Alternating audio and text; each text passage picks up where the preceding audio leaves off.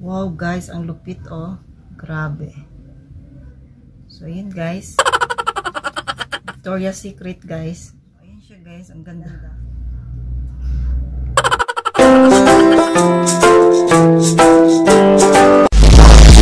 Call me Pepsi Jubaji Isette Pali Chaser Once a cooking they gotta get dang dang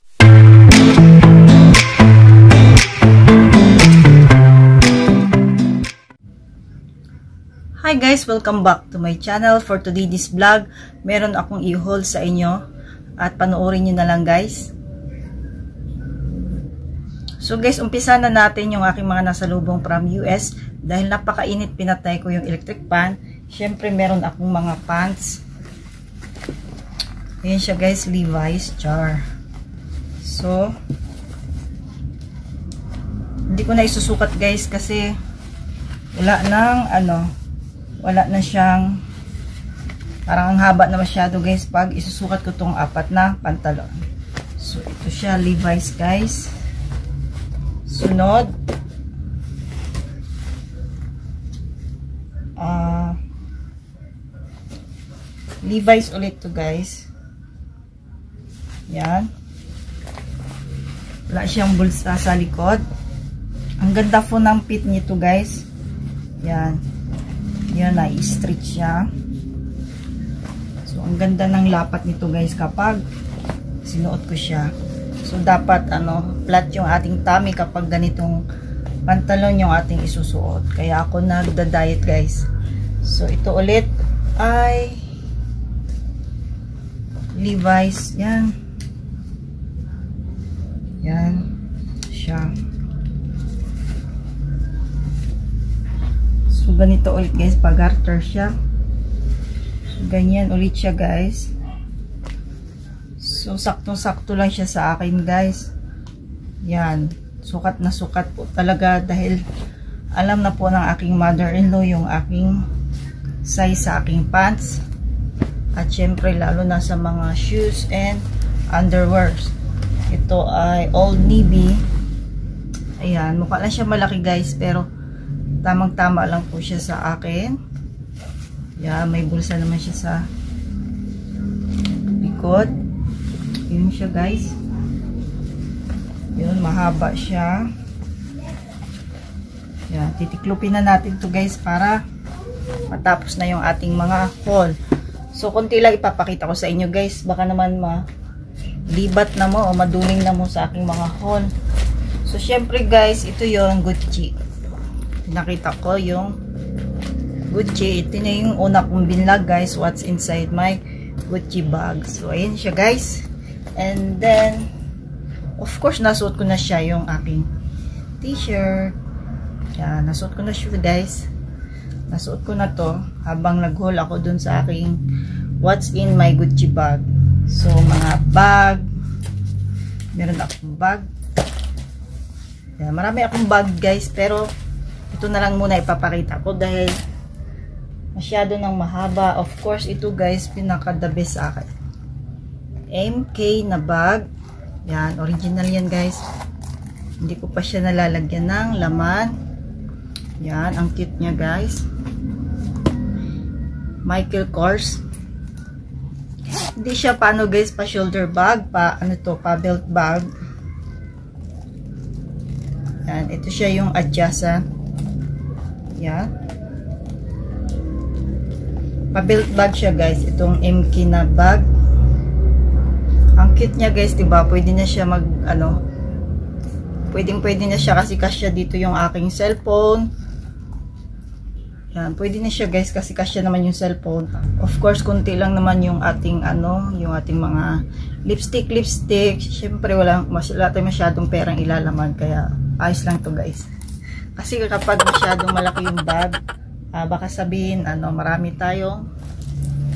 So guys, yung aking mga sabon, ayan, yung mga sabon-sabon na yan. Ito pa, nabawasan ko na guys, yan. Hindi ko na ipakita sa inyo guys yung mga toothpaste dilata kasi masyado nang marami. Pinapawisan na ako dito guys kakahol kasi So guys, di ko na ipapakita sa iyo yung mga aking mga dilata, yung aking mga toothpaste. Kasi ganun din naman ang itsura no. So uh, guys, ang mahalaga sa lahat yung aking mga makeup, ihuhul ko sa sa inyo. Of course guys, nadagdagan naman yung aking bath and body collection. Ayan. Nadagdagan na naman siya guys. Ah, ang bango nito guys, grabe. Para din siyang ano, Victoria's Secret, hindi basta-basta nawawala yung amoy. Tapos, na-apply ko lang to guys sa gabi. Pag malamig yung panahon, kasi nga, ayoko siyang gawing ano, uh, lotion pang everyday kasi nakakaitim to guys. So maganda siya pang ano moisturizer sa katawan. Guys, kapag uh, katapos nating maglaba, ginagawa ko siyang moisturizer sa aking mga kamay. And then guys, pa winter candy apple. Yan. Bango niya guys, promise. Yan, ando na yung mga ano, idadagdag ko na to doon guys sa aking bath and body collection. Kasi nga na ano na siya nagdagdagan naman. Tapos nadagdagan na naman yung aking mga pabango. Of course pabango guys. Ito pa. So tingnan natin guys kung alin ang pinakamabango sa apat na to. Dahil dun sa mga nakaraang kong bath and body na nandyan pa yung isa na pinakamabango ay ubos na ito cucumber melon. Ang bango niya guys. Hindi ko pa siya na-spray pero naamoy ko na siya. Ang bango. So tingnan natin guys kung alin sa apat na to yung magugustuhan ko. Sunshine. Um, ayan. Wow guys, ang bango ng amoy nito.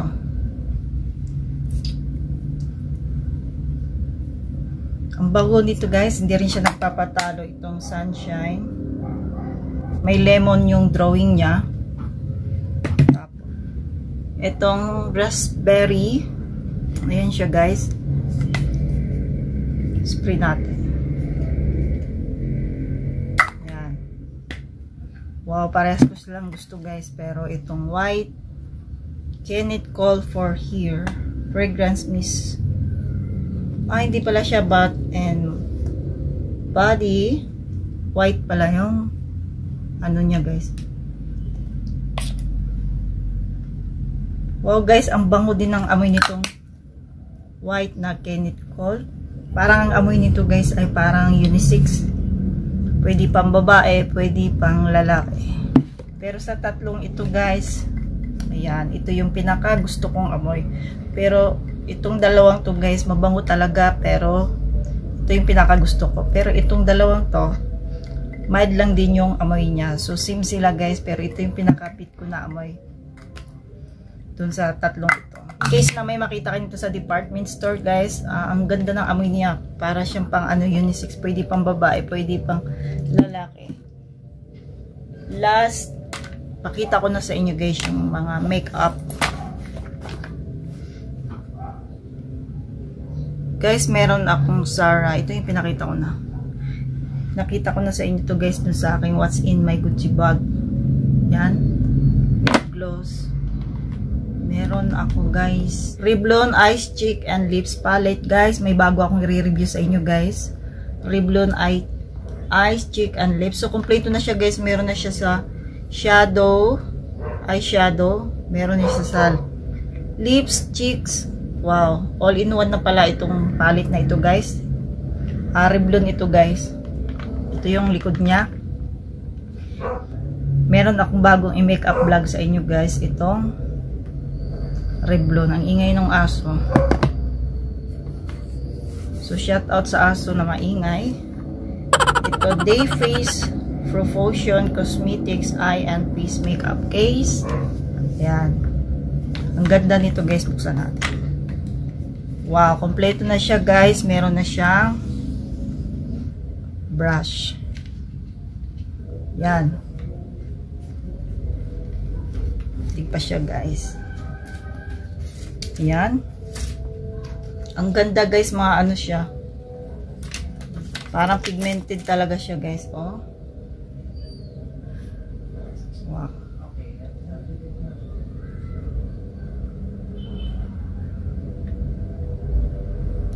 Hindi masyadong ano guys. So, itry ko na lang sa inyo to guys.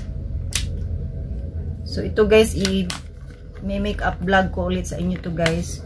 Kung maganda ba sa face. Pero I'm sure ano siya, maganda siya kasi original. And then, next guys, yun. Ito. So, ito guys, nakita niyo na tong Revlon. So, bago kasi to guys. Yan.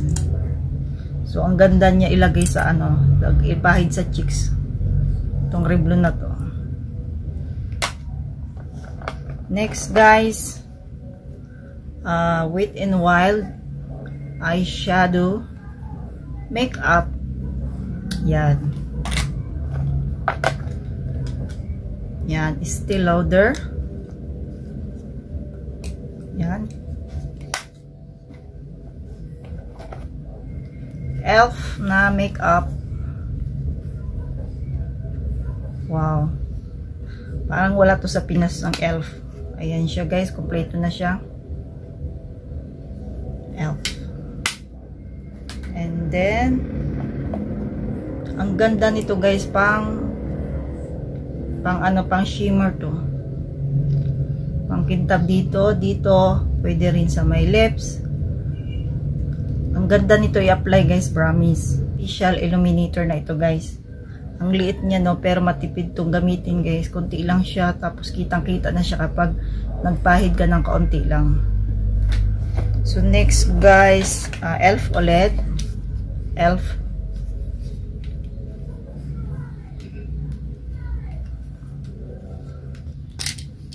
Yan. Ano siya guys, may kulay blue, green, cream. Ang ganda guys, oh.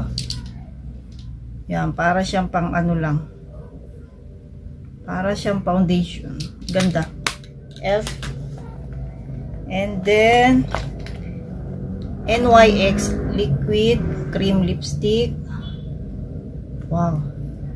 Try natin to guys.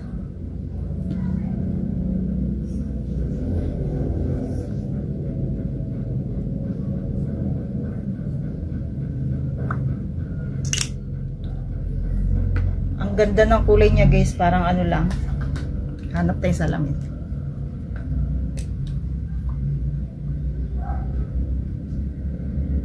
Bagay ito guys sa mga morina. Pwede rin siya sa mga mapuputi.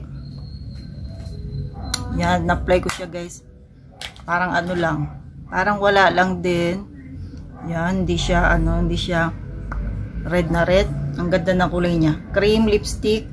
Yan ano bang ano nito? LSCL04 yung number ng NYX liquid. Yan.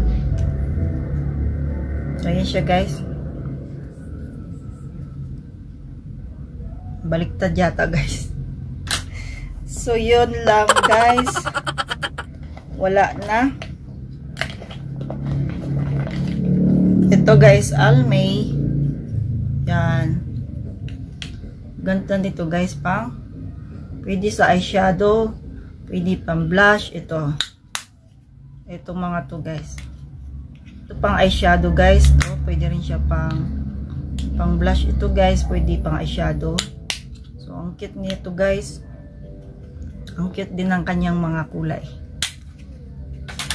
And last guys, yung ating and of course guys, last yung aking Victoria's Secret na panty. Hindi ko na ipakita sa inyo yung iba guys. Baka isipin nyo, isusuot ko siya. I uhol ko siya sa inyo sa sa video ito. So, pakita ko na lang sa inyo guys. Victoria's Secret. Yan. Yun yung aking mga panty pinapadala ni mother. Ayan guys. Hindi ko alam magkano isa nito. 1050 dollars US. US dollars. Wow. Di ako makabili nito guys. Wala akong pambili ng ano, Victoria's Secret. So yan, kasali siya sa haul guys, no? Akala nyo sa garage isusuot ko to, no? So ito lang yung ating ano guys, ganap for today guys. Yan. So thanks for watching guys. Don't forget to like and subscribe. So yun lang ang papakita ko sa inyo guys. Baka malibat na mo sa aking mga haul. Sa sobrang dami na at ganun din naman itsura ng mga dilata na yon. So thanks again for watching guys. Uh, don't forget to like and subscribe and click the button bell. Thanks you guys. Bye.